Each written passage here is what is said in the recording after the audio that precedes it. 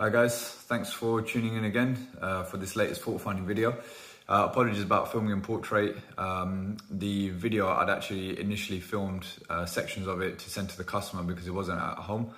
Um, and I hadn't planned on making it into a YouTube video, but it ended up being half decent, so I've stitched it together. Um, hence why it's in portrait mode. So um, yeah, apologies for that, but hope you guys find it interesting and hope everyone's having a good bank holiday weekend. Right, Tel. Your condense is backed up. See all the water up there?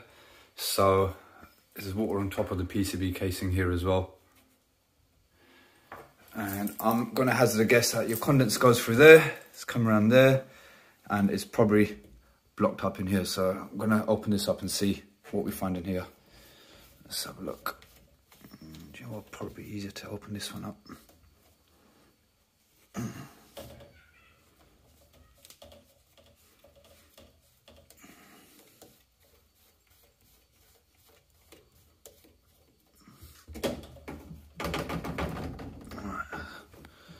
Nothing in there at the moment. So let's open this up here and see what we find in here. Right, Tel, it looks like it's actually coming through the flue because if I put my fingers there, look, it's all wet.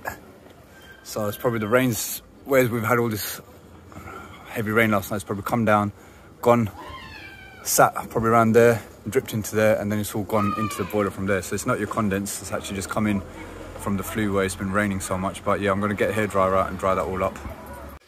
So sump is completely dry, so that's not backed up whatsoever. Um, it is literally it's just coming through the air intake on the flue and just drip down. That's why it's sitting on there, sitting on there, and it was sitting on top of there. So it's going to dry that all up and retest it. Right, so just uh, dried everything out on the boiler. Uh, put it back on again. Hot water, it's not firing up. Heating, it's firing up. So I've just turn the heating on, turn that back off. Right, boiler goes off. Run a hot tap. Still showing pump overrun. Let's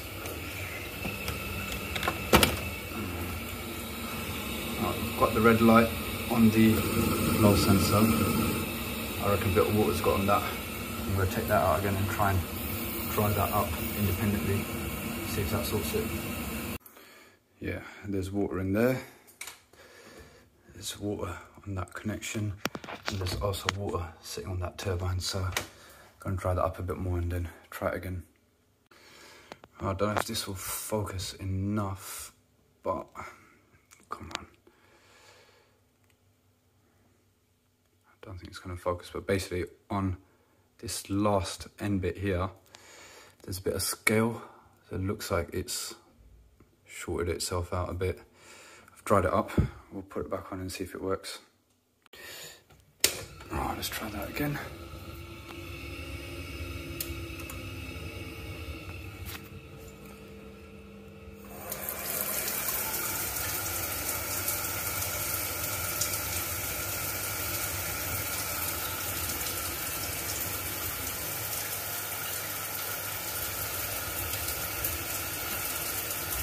Hey, that's all it was.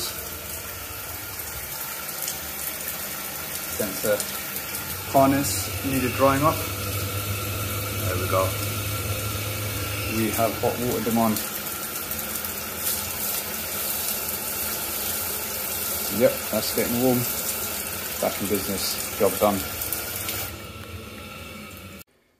On further inspection, it looks like the chip on the Hall effect sensors had it because it worked and then it stopped working. And now this isn't even giving me the solid red light anymore so I'm gonna go and pick up one of these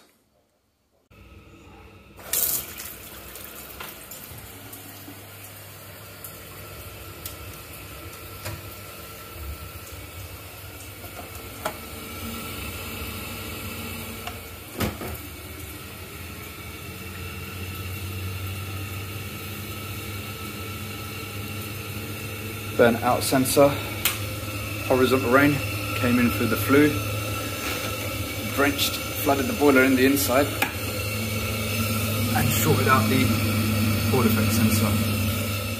New one back in, hot water back on.